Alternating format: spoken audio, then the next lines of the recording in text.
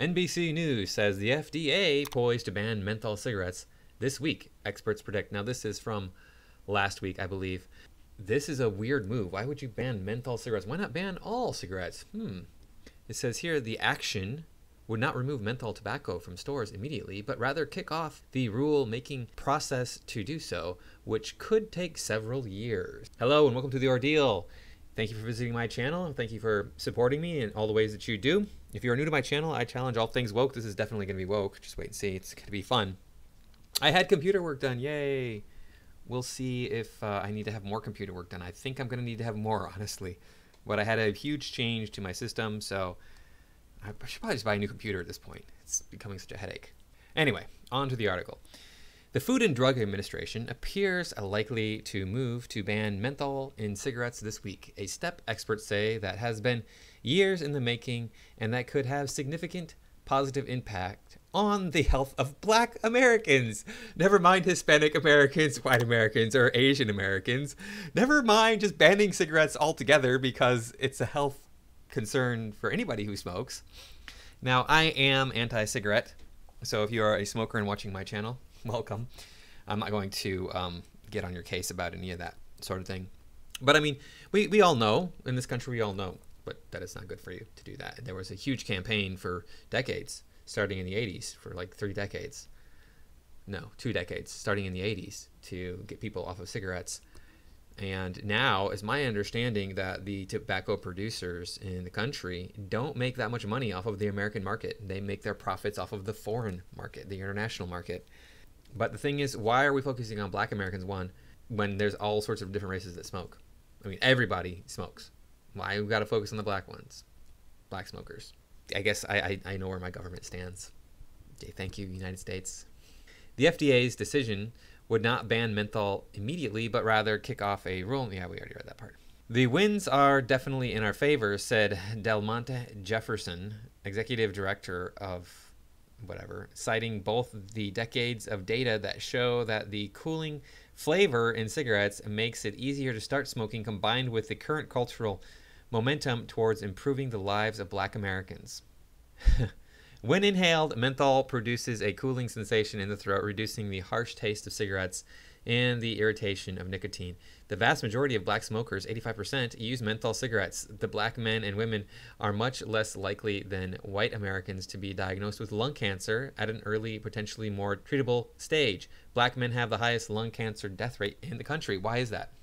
Is it because that uh, doctors just don't screen black men for lung cancer, or is it the black men don't go looking to be screened for lung cancer?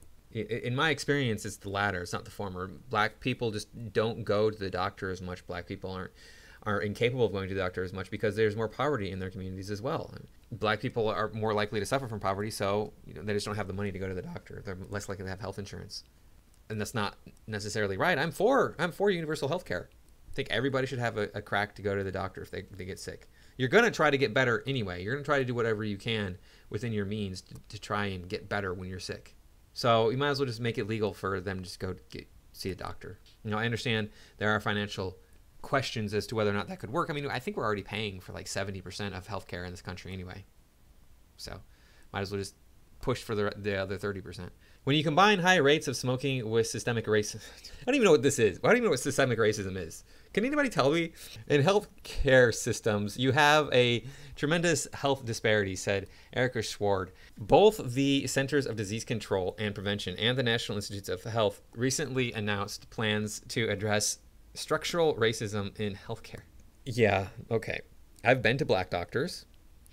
I've been to Asian doctors. I've been to white doctors. I don't know if I've ever been to a Hispanic doctor. No, I have actually. I've been to a Hispanic doctor. Yeah. So I've been to you know the four major races that we we talk about. I've been to Indian or Middle Eastern doctors for sure.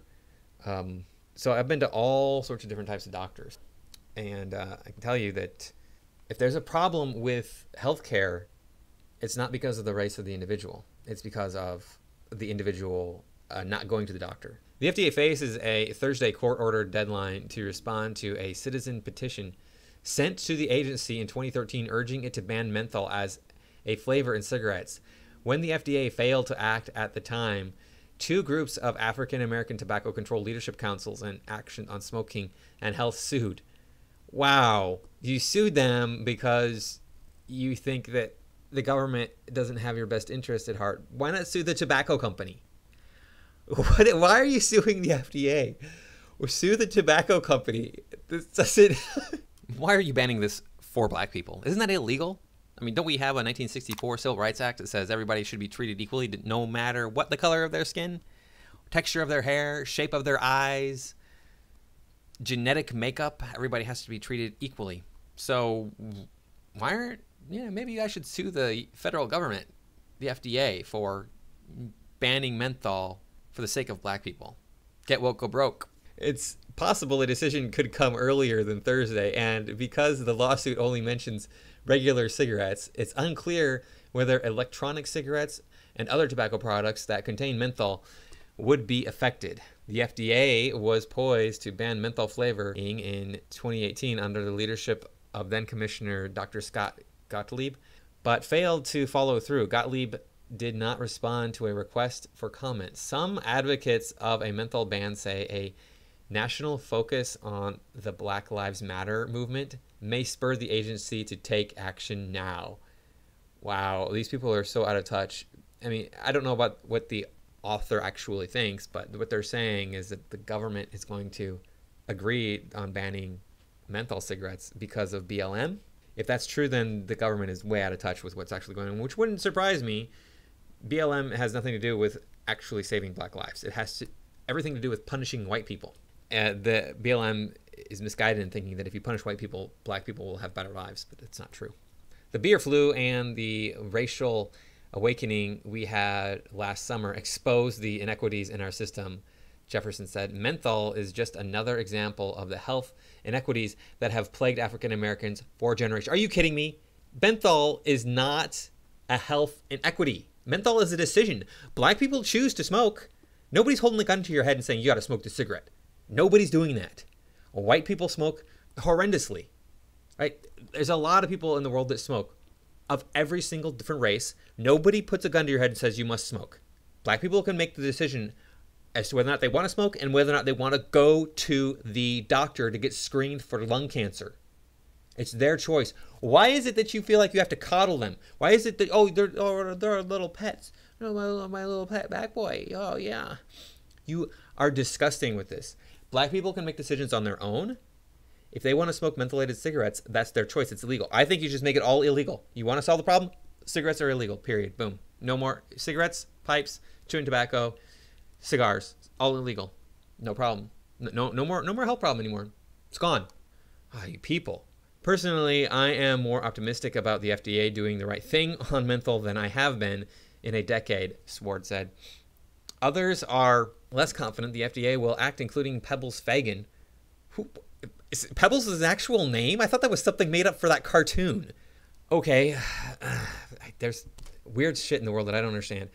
The director of the Center uh, for the Study of Tobacco at the University of Arkansas for Medical Sciences it is possible that the agency could delay a response by asking the court for more time, even if a decision to start the banning process does come back this week.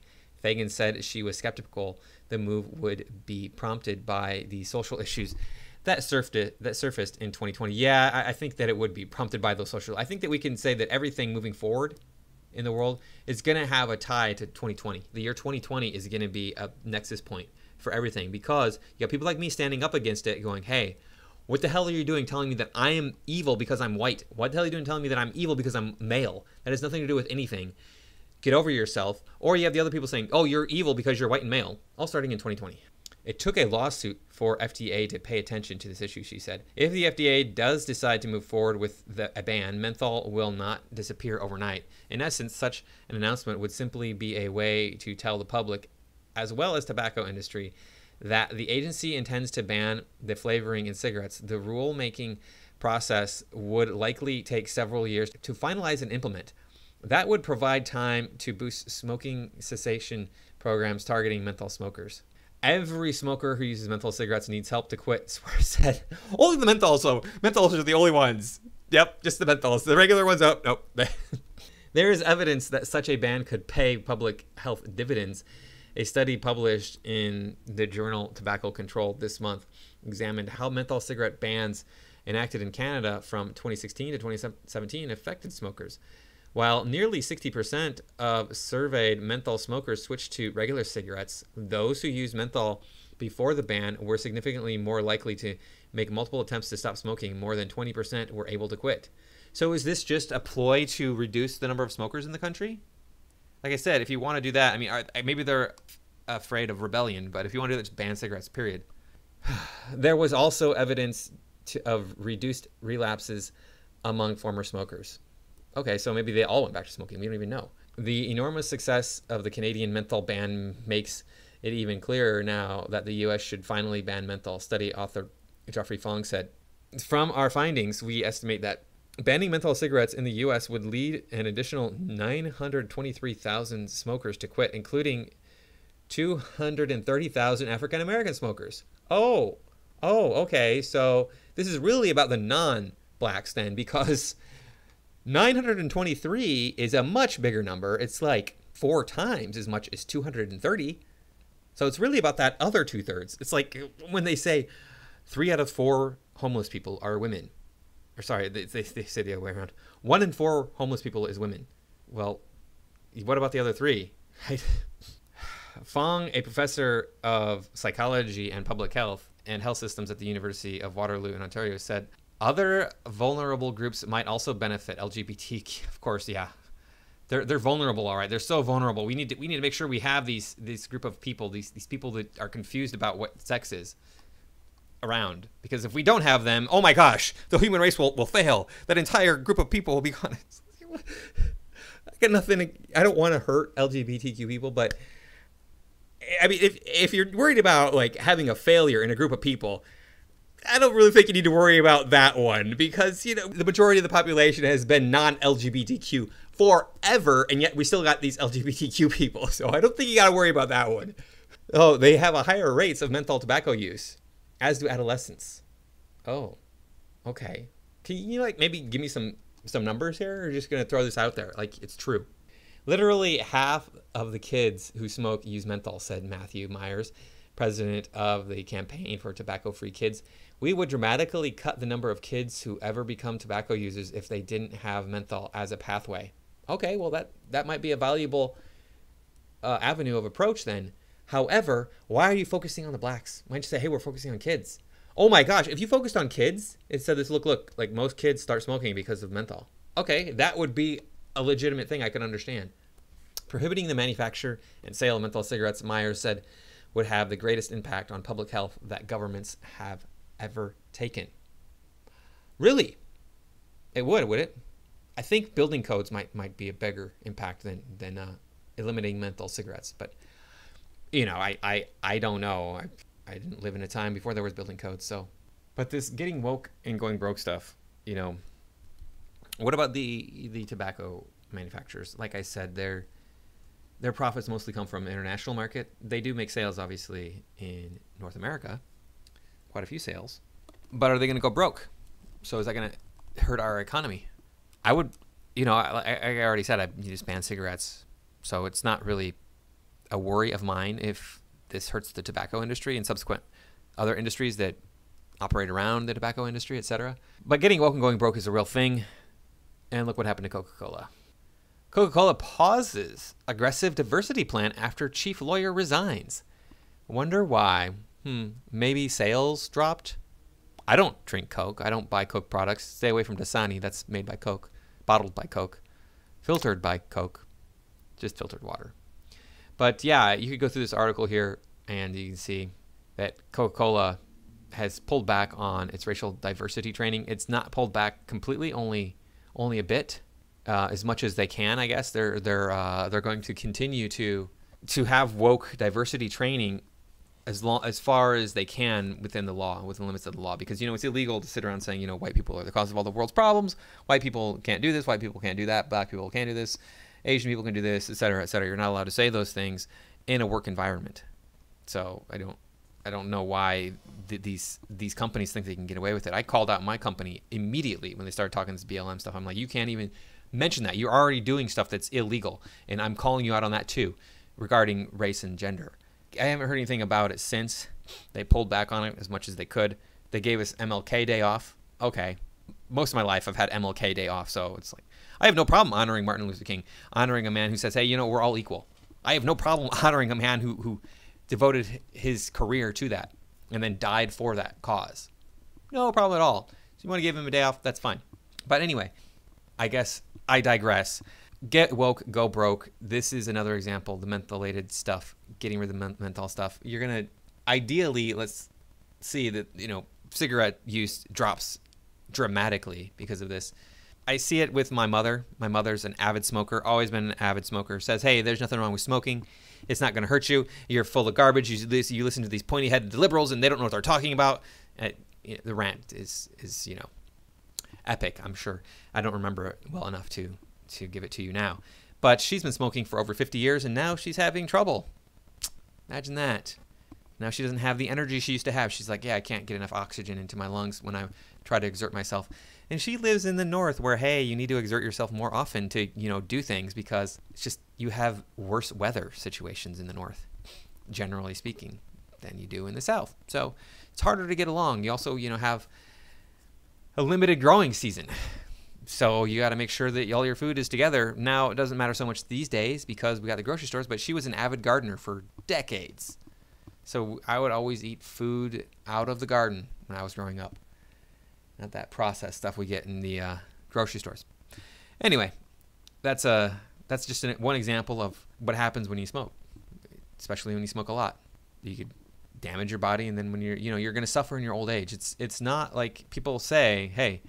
I, uh, I gotta die of something. I gotta die of something. Well, yeah, you gotta die of something, but I'd rather be strong up until the very end. My grandmother, my father's mother, she was like 88 and a half when she went into a nursing home and then she was dead at 89. That's pretty good run. Make it that long and you you know you're active the whole time. Pretty good.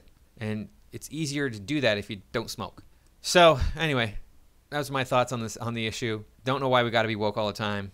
Doesn't make any sense to me because it's just we're shooting ourselves in the foot. This country is going to hell in a handbasket and I will see you all next time.